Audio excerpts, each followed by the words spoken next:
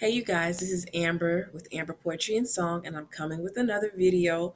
This one is not a prophetic uh, word. Well, it's prophetic, but it's not a vision that I had.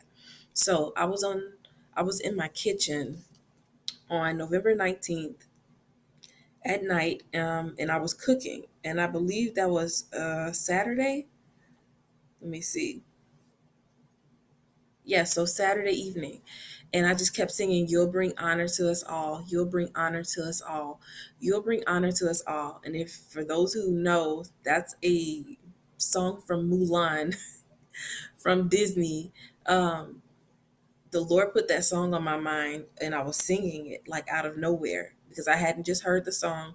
I hadn't just watched the movie. I haven't seen that movie in a while. And I was in here singing that. Um, and sometimes that is how the Lord speaks as well through song with some of his children and with me personally through through the lyrics. So when I I sung that, I stopped and I went to go look up the lyrics. Um, and so let's see.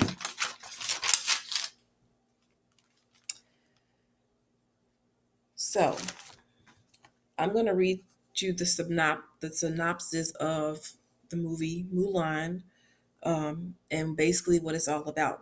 Because when I was led to the lyrics, the lyrics reminded me of Esther. Um, but it says Mulan, okay, fearful that her ailing father will be drafted into the Chinese military. Mulan, her name is Ming Na Wen, um, takes his spot Though, as a girl living under a patriarchal regime, she is technically unqualified to serve, she cleverly impersonates a man and goes off to train with fellow recruits. Accompanied by her dragon Mushu, she uses her smarts to help ward off a Han invasion, falling in love with a dashing captain along the way. Okay, so that is a synopsis of Mulan. But if you um, go to YouTube and look up You'll Bring Honor to Us All by Mulan, you know, that part in the movie is when um, she's being prepared to be made a bride um, to go into the emperor. And so I'm going to go read those lyrics. And I want y'all to go watch the video um, of her of, of them singing the song because as they're singing the song they're prepping her they're getting her ready. They're um it's like her purification um process but in that whole little scene um because she's now ready to go before the emperor. And so um i'm going to read i'm going to go to um hebrews chapter 11 i mean chapter 12 first I'm going to read these scriptures first that I have with this and start from there. So, Hebrews chapter 12, I'm going to read verses 6 through 13 because this is where I was led to with um with this you know word.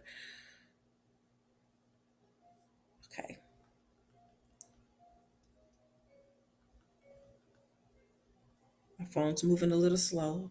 Okay, Hebrews chapter 12, verses 6, 6 to 13. It says, For whom the Lord loveth, he chasteneth, and scourgeth every son whom he receiveth. If ye endure chastening, God dealeth with you as with sons. For what son is he whom the Father chasteneth not? It says, But if ye be without chastisement, whereof all are partakers, then are ye bastards and not sons. Furthermore, we have had fathers of our flesh which corrected us, and we gave them reverence. Shall we not much rather be in subjection unto the Father of spirits and live? For they verily for a few days chasten us after their own displeasure, but he for our profit, that we might be partakers of his holiness. Now no chastening for the present seemeth to be joyous, but grievous. Nevertheless, afterward it yieldeth the peaceable fruit of righteousness unto them which are exercised thereby. Wherefore lift up the hands which hang down and the feeble knees, and make straight paths for your feet, lest that which is lame be turned out of the way, but let it rather be healed. And so for those who know if you've been chastised by the Lord, that is like a purification process.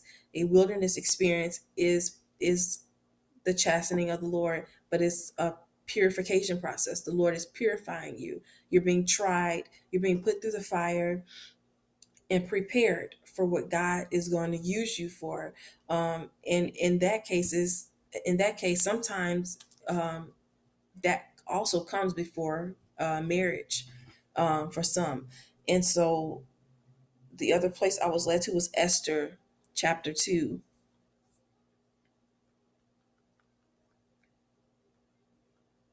Esther chapter 2, and I'm going to start at verse 8. And this is about um, Esther finds favor. So, verse 8 says So it came to pass when the king's commandment and his decree was heard, and when many maidens were gathered together into Shushan, the palace, to the custody of Hegai, that Esther was brought also into the king's house to the custody of, of Hegai, keeper of the women. And the maiden pleased him, and she obtained kindness of him, and he speedily gave her her things for purification, which such things as belonged to her, and seven maidens, which were meet to be given her out of the king's house. And he preferred her and her maids into the best place of the house of the women. Esther had not showed her people nor her kindred, for Mordecai had charged her that she should not show that she should not show it. And Mordecai walked every day before the court of the women's house to know how Esther did and what should become of her. Now, when every maid's turn was come to go into King Ahasuerus, after that she had been twelve months, according to the manner of the women, for so were the days of their purifications accomplished, to wit, six months with oil of myrrh, and six months with sweet odors, and with other things for the purifying of women, of the women. Then thus came every maiden unto the king. Whatsoever she desired was given her to go with her out of the house of the women unto the king's house. In the evening she went, and on the morrow she returned into the second house of the women, to the custody of Shagas, the, the king's chamberlain, which kept the concubines. She came in unto the king no more, except the king delighted in her, and that she were called by name. Now when the turn of Esther, the daughter of Abihail, the, the uncle of murder, the uncle of Mordecai, who had taken her for his daughter, was come to go in unto the king. She required nothing but what Haggai the king's chamberlain, the keeper of the women, appointed. And Esther obtained favor in the sight of all them that looked upon her. So Esther was taken into King Ahasuerus into his house royal in the tenth month, which is the month Tebeth, in the seventh year of his reign. And um, it says, And the king loved Esther above all the women, and she obtained grace and favor in his sight more than all the virgins, so that he set the royal crown upon her head and made her queen instead of Vashti. Then the king made a great feast unto all his princes and his servants, even Esther's feast. And he made a release to the provinces and gave gifts according to the state of the king. And when the virgins were gathered together the second time, then Mordecai sat in the king's gate.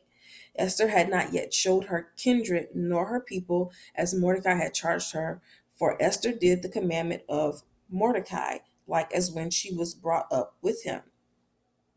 So she reminded me of Esther because um you know the whole in the movie Mulan she's disguising herself as a man to go in to fight for her family for her people. And so she reminded me of Esther in that way because Esther was a Jew but when she was uh when she made when she was made queen and went into the palace the king did not know that she was a Jew and she you know her assignment was to save her her people her the nation of israel from the hands of haman from him trying to kill and destroy their their entire nation. Um and so what the lord caused me to understand with this is that the lord is calling forth the Esthers for a time such as this. He's he's been calling um for a time such as this. But the preparation stage is complete and those Esthers are now ready. They are ready to be presented to the king and for their assignments. And so I'm going to go and read um, the lyrics to this song um, and go and watch the video with the song because on there the older women in there they are prepping her preparing her. And then at the end of the video in, in that one scene um she's she's uh, her her purification is complete and she's ready to go before the, the emperor. Um and so um i'm gonna read these lyrics it's called you'll bring honor to us all and i kept singing that part three times so it says this is what you give me to work with because the lady's talking about Mulan and how she came in there looking because Mulan was not a girly girl. She was like tomboyish. Um, it says, Well, honey, I've seen worse. We're going to turn this soul's ear into a silk purse. We'll have you washed and dried, primped and polished till you glow with pride. Trust me, recipe for instant bride. You'll bring honor to us all. And so um it's that part okay so esther i mean not esther mulan is being prepared and it says trust me recipe for instant bride she's being prepared to be a bride um, but we also know in the movie she was a warrior um, and so that she had the assignment of saving her people even though she she went on her own and did it because her father didn't know it, it, it reminded me of the part when mordecai told esther about um, the plans haman's plans and when esther said she said, "If I perish, I, I perish." Uh, when she was saying that, she, you know, when it came to going before the king, because you could not go before the king unless the scepter was held out to you, um, and unless you had the permission to do that. And so Esther was brave in that way to where she was willing to lay down her life for her people. The same way with Mulan, she was willing to lay down her life for her people and and her attitude from that was if I perish, I perish. Even though she was not commanded to do that by anybody, she she took it upon herself to do that. Um and so, you know, she was being prepped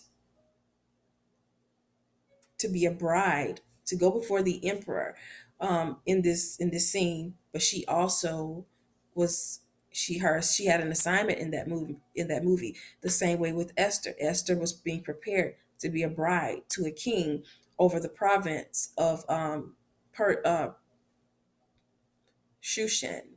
Um i believe that's it. Yeah persia media but shushan.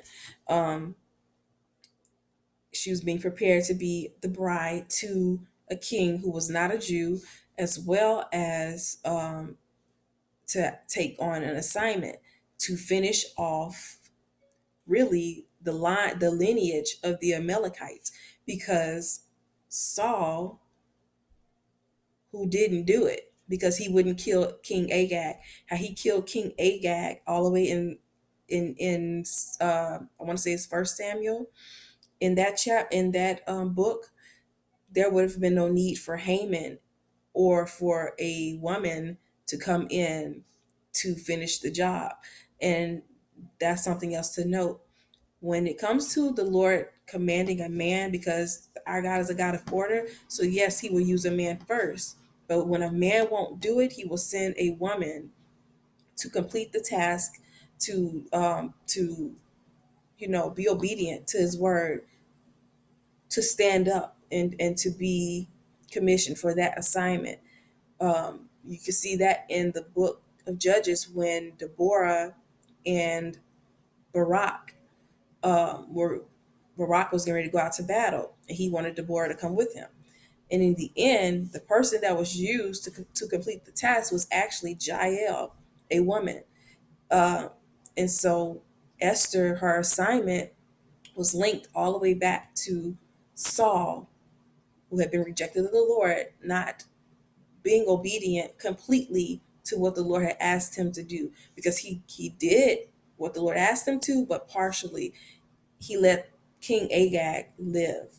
And because he let him live, Haman was able to be, be created and tried to bring destruction and, you know, kill the Jews, bring destruction to the Jews and, and to try to annihilate, annihilate um, their nation because he comes directly from out of that lineage. If you study and if you pay attention, he is the Amalekites. He comes from those that nation of people, um, and it's because of Agag, King Agag. He was not killed. Saul spared him, and so that is what caused the Lord to reject Saul in the first place. Um, and so it says, You'll bring honor to us all. It says, Wait and see when we're through. Boys will gladly go to war for you. With good fortune and a great hairdo, you'll bring honor to us all. She's being prepared. It says, um, and, and this is her purification because she took a bath in that scene. They were putting clothes on her, doing her makeup, doing her hair, all of that. And so that's um that's what her purification was. But um, when it comes to our purification, like I, I think I said before at, at the beginning of this video, um, that chastisement that you go through when the Lord's chastising you is is looked at as purification. And so, yes, part of our purification is, you know, making sure we look clean, making sure our skin is looking up to par, our hair, um, nails, makeup, if you feel led to put that on, um, your hair done, you know, just different things like that, perfumes, you know, sweet odors and things that like that. That's a part of the purification process, but also when it comes to your heart, to your character, to how you carry yourself as a woman, um, all of that is a part of purification. And you've been through this. That's what the Lord is showing me with this that those who are called forth, who have like, who are, um, are like Esther, they have gone through this. It's complete. Um, you are ready for the next phase, which is the assignment. And for some, marriage and the assignment um, and so it says a girl can bring her family, a girl can bring her family great honor in one way by striking a good match, and this could be the day. That reminds me of Esther. Esther, you know, that reminds me of Esther and in Mulan. That's exactly what she did. But in this part, it was she wasn't yet dressed up you know, trying to disguise herself as a warrior to go fight in war. It says men men want girls with good taste, calm, obedient, who work fast paced.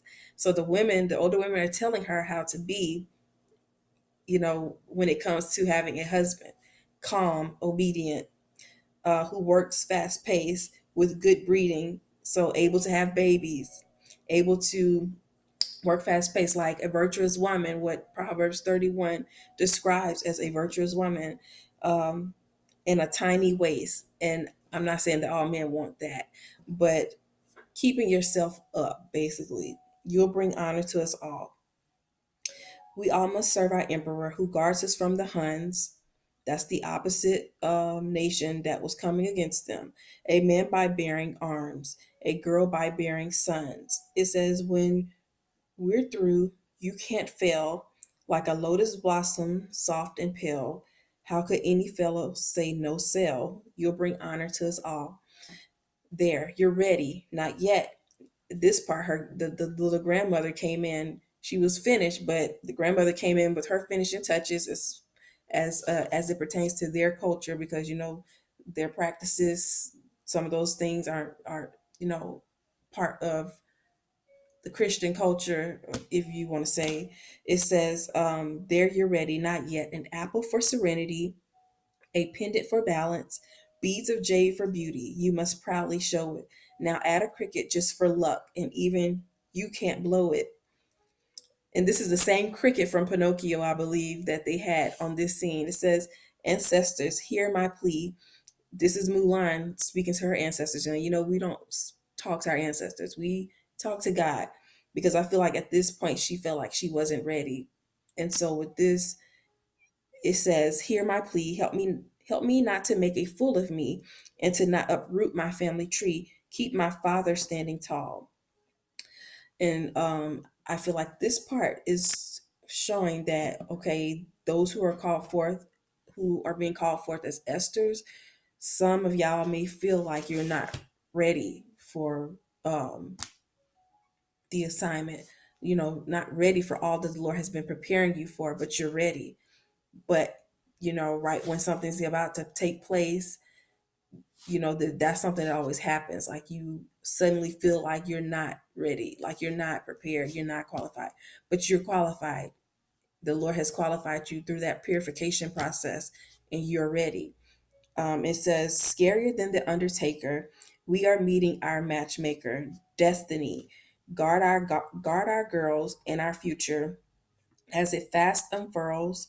Please look kindly on these cultured pearls, each a perfect porcelain doll. And then it says, "Please bring honor to us." And they just kept repeating after uh, after each other. Please bring honor to us. Please bring honor to us.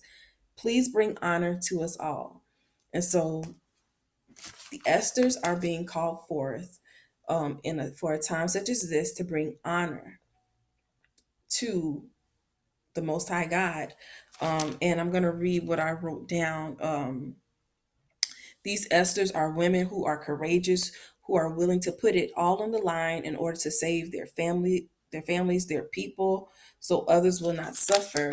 Um, you have an assignment, and just like Esther, you have a Haman.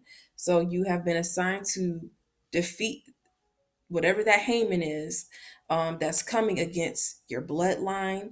Um, Haman wanted to kill the Jews. We know that the enemy comes to kill, steal, and to destroy. There are things in your bloodline that are generational that have been set up in order to kill your bloodline um, off that many in your family don't recognize or realize um, that keeps them, you know, from from coming into fellowship with Christ. Um, it says there are things that have been set up to kill God's people that many don't realize, to keep God's children from knowing and experiencing the height and the depth of God's love. Um, the gifts of the Holy Spirit that He has placed on His children. Because if the enemy can kill God's uh, children, or if he can quench the spirit in the body of Christ, then it will make his job easier to come in, to kill, to steal, and to destroy. Um, but if God's children are on guard always, being watchful, walking in their callings, in the anointing, um, using the gifts He's given them, then He doesn't stand a chance. And as I was writing this, um, as I was writing this, I was thinking about something else. So, um, when it comes to these Hebrew camps, Hebrew Israelite camps, um, this is going to trigger some people. Um, they have this, they teach in a way to where they make it seem like there's only false prophets. Okay, which is a part of quenching the spirit because in the Bible you can see that there are false prophets, but there are also true prophets. And some of these prophets are women. And so it's a way to silence the women. There's an agenda in place to keep women silent, to keep them from not just women, just other people who may have that prophetic gift, who may have been called to the office of a prophet from speaking. Uh, because the only thing that's being mentioned is um, false prophets, false prophets. Yes, we are in those times that there will be many false prophets, but the Lord has true, true children that are standing up for Him, that He is using and wanting to use. And by teaching in that way, it's contrary to the word for one, but it keeps people silent. It's it's it's causing the body to be dysfunctional. Um, it's causing the bodies of Christ to be handicapped because these people are not using their gifts because these gifts are given to us so that we use it for the body and for others. And the lord is revealing things through these gifts. But when you're sitting on those gifts the rest of the body will not know certain things if you don't speak if you don't open your mouth and speak because not everybody have that same gift and that same measure of grace so you know that is how the body of christ can uh the the how the spirit can be quenched and that in a sense can be used as a Haman. Um, that the Haman that I'm speaking metaphorically right now, that the Lord is calling forth certain Esthers to um, to speak out against, so that people will come from out of that bondage and will be able to stand up and be you know courageous not afraid to actually speak out and speak up either on things that are going on in these camps or um, the gifts that god has given them without feeling shame about it without feeling like um, they can't use what the lord has given them especially if they've been baptized in christ because the word says when we've been baptized in christ that you receive the gift of the holy spirit. With the gift of the holy spirit comes different measures of that grace you know different measures. Um when christ was was in the flesh he was operating in full measure of it of these gifts that we are given. But as the body of christ when we're baptized in him that is distributed among amongst all of us. And if we are telling people that they cannot that to don't listen to certain people you know calling them false prophets and you have not checked with God, you are handicapping the body of Christ. You are um you're handicapping the body of Christ and you're quenching the spirit because God didn't give us these gifts for no reason. Like these gifts are meant to be used. They are meant to be used and not everybody have this gift. The reason why I can speak on this gift is because I have the gift. And so I can only speak on what I know. And so that is what many people should learn to do. Only speak on what you know. And if you don't know, then be quiet because you could be speaking against the Holy Ghost um, when you do that. And so one of those Hamans is not just these camps, but any church that will try to silence people from from being used in the way that the Lord wants to use them. That is the enemy working through these organizations to make them not be used by God in the way that God is wanting to use them. And so the Lord is calling forth the Esthers of this generation, and they have an assignment, and some of them are this word has to do with marriage and it has to do with assignment. And the the assignment is connected, the, the marriage is connected to the assignment. Um, you know, the, the the purpose of the marriage is because of the assignment. And so Esthers are being called forth. You are prepared. You have been purified. You've been through that purification process and you're ready to be used by the Lord in the way that He wants to use you. And it's to come up against the Hamans. Um, an, another another uh, example of what uh, of a Haman. When I say that, I'm speaking metaphorically. Um, could be is the Jezebel spirit. Um, either in your bloodline or just in different different things in this world like the lord is raising up children that are not afraid to speak up to speak out and to go to war on behalf of his children um, to save souls to so that people will no longer suffer with different things. And he's using men too don't get me wrong i'm not just saying that he's only using women or or the women more than the women um, more than the men. No. But this this is what this word pertains to the Esthers um, but yeah, he's calling forth those Esthers He's sending them forth at this point to go out and to do what he's called them to do.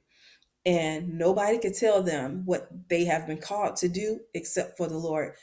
You don't know what that what the Lord has called these people forth to do. So if you're somebody who likes to put your mouth on people and speak out on against people because of what they're doing, the Lord is going to deal with you because he reveals these things to you through his Holy Spirit.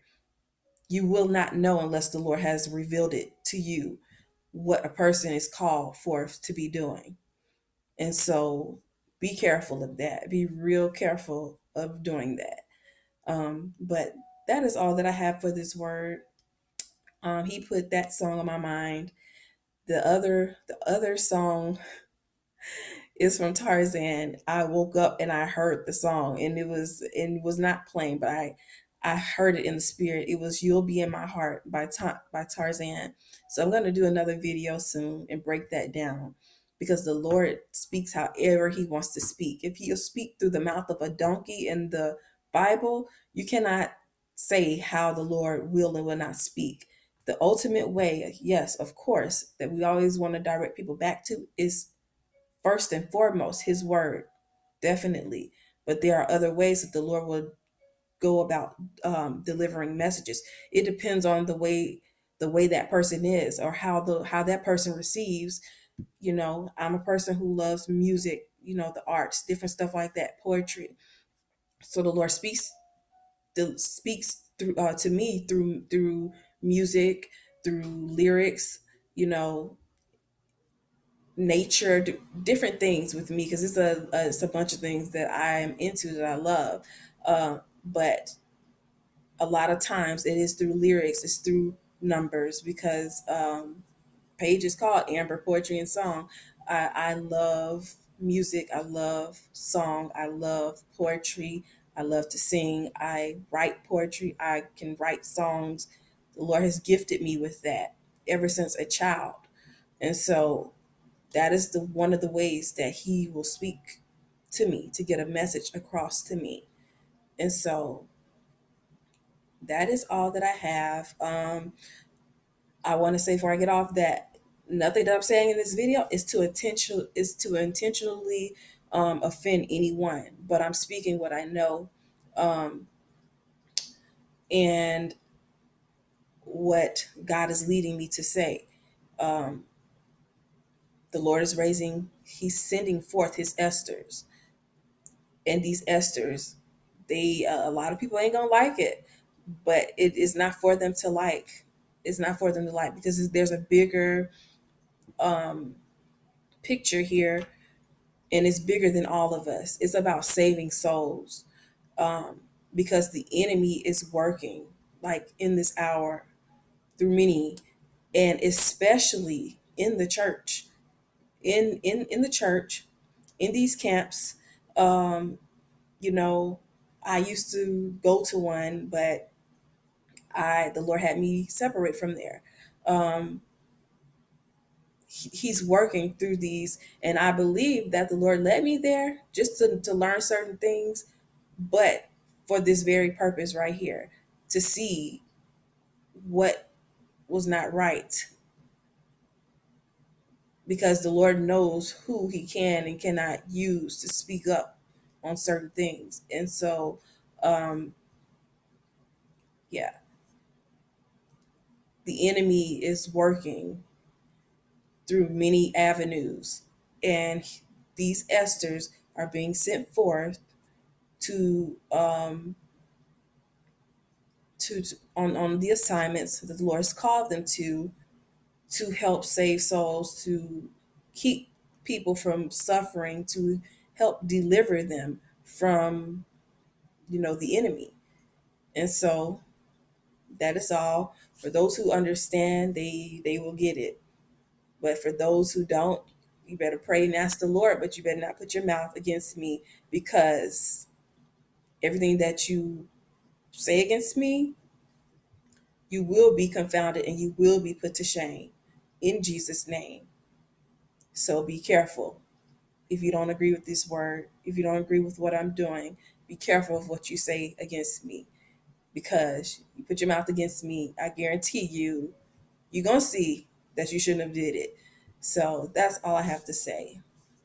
Peace and goodbye and blessings to you. Goodbye.